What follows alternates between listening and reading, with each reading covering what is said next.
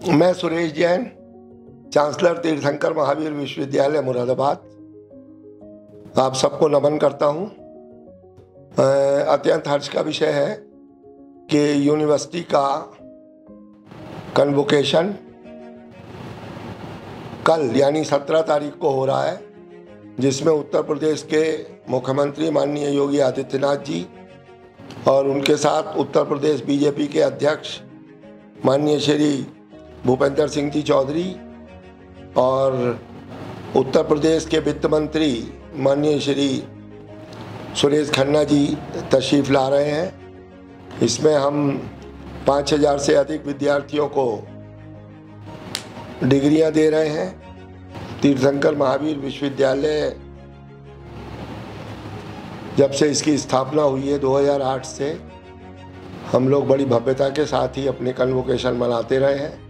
और उच्च स्थान पर बैठे हुए लोगों को ही अपना मुख्य अतिथि बनाते रहे हैं। और इस बार भी ये बड़ा सौभाग्य है कि माननीय मुख्यमंत्री जी ने हमें समय दिया है। मैं अपने सभी विद्यार्थियों को बहुत बहुत बधाई देता हूँ, जिनको आज gold medal, silver medal, bronze medal अथवा पीएचडी की डिग्री अवार्ड हो रही हैं।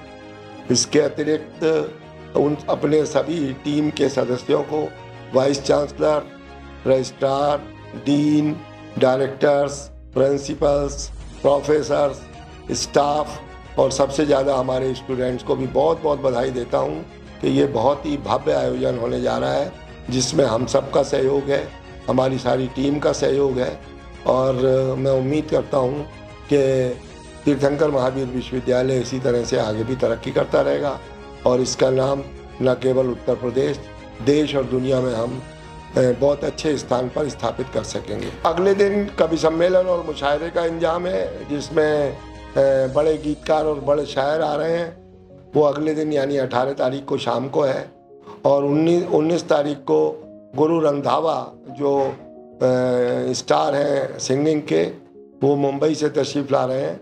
उनका कार्यक्रम भी बहुत ही हंगामेदार और अच्छा होने वाला है। उसके लिए भी मुझे उम्मीद है कि हम लोग अच्छी व्यवस्था कर सकेंगे और ठीक से लोगों को उस आयोजन में एंजॉय करने का मौका देंगे।